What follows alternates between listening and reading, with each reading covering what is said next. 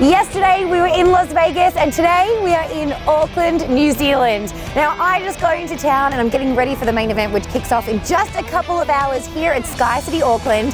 2200 New Zealand dollar buy-in. I cannot wait. The numbers for all the preliminary events have been amazing, so this is due to be a huge event.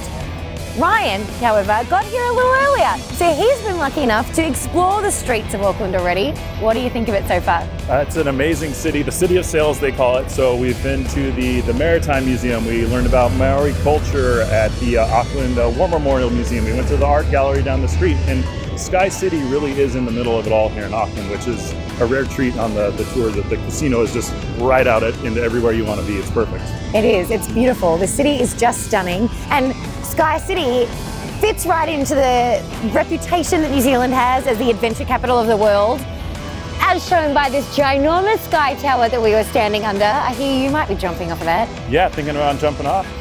It's gonna be. Uh, it's a long ways up and a long ways down, but I think Yeah. it'll be a good time either way. Get the adrenaline pumping before the poker. I'll leave that to you. Actually, and you know what else they're doing? Uh, SkyCity is treating the bubble to a free jump.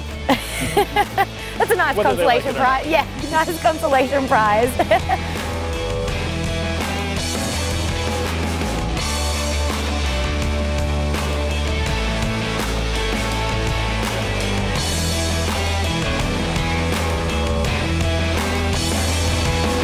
We have a fun week ahead. I cannot wait to see more of Auckland. we'll see you later.